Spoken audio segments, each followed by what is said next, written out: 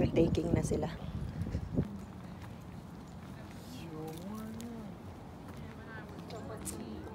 Oh, nice.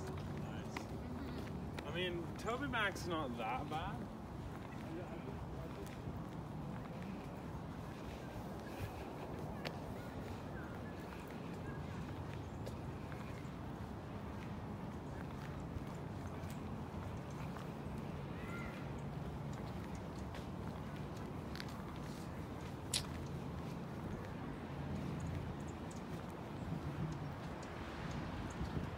Diyan yung maraming nagsiswimming tuwing summer.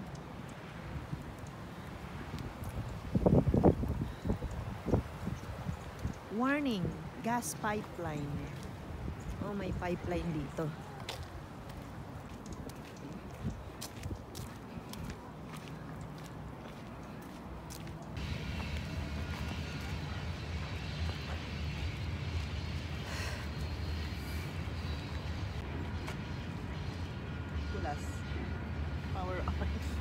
On. See you in a bit.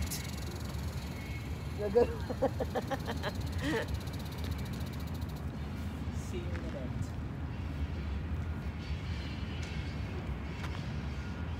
Pag doon kasi tayo sa bridge, marami tayong nakakasalubong eh.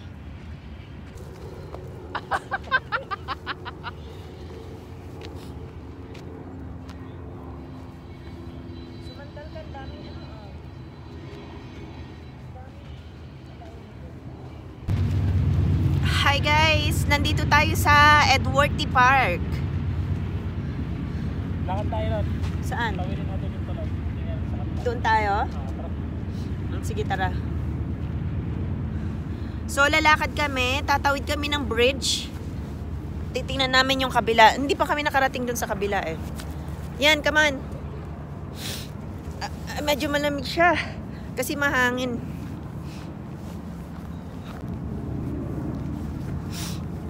had had.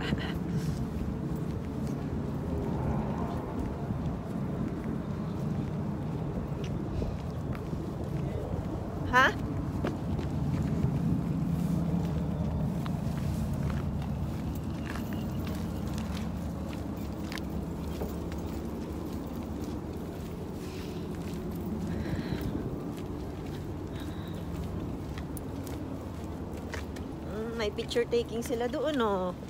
Sa baba. Maganda kasi mag-picture taking dito. Yan. Lalo na pag summer, ang ganda dito. Tunaw na yung mga snow. Ah, siguro ikakasal yung mga yan. Ang ganda guys. Look.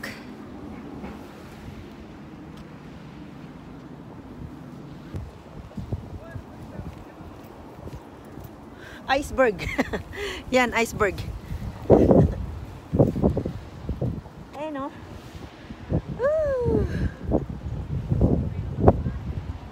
Ang linaw, no?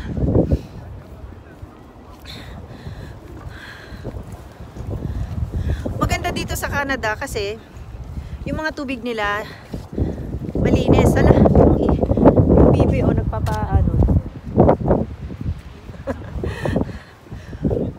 Pero mas maganda pa rin sa Pilipinas kasi nakakaligo tayo sa kanila. Maraming ganito.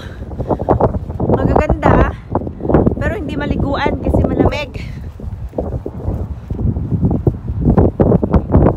Yung mga puti, yan, naliligo sila pag summer. Pero, lamig. Hindi katulad sa atin na ma-enjoy talaga natin. Ito, pag sa atin to, naku, punong-puno na ng naniligo. Pub na to, oh, kasi nakaharap siya. Yan, ito yung pub. And then yung front niya is dito. Ang ganda.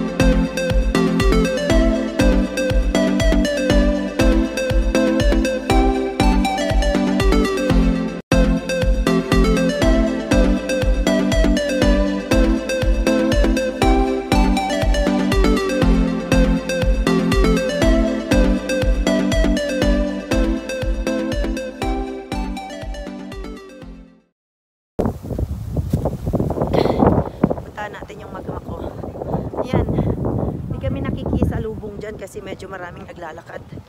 Dito kami sa walang tao.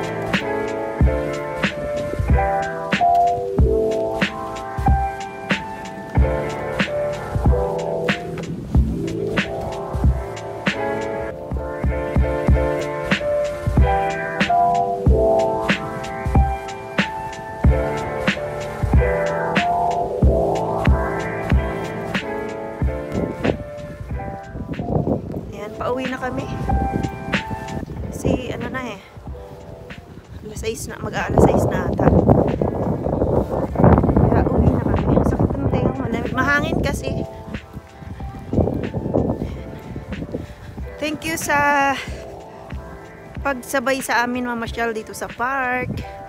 And don't forget to subscribe and hit like, comment, and share. Thank you and God bless everyone. Bye.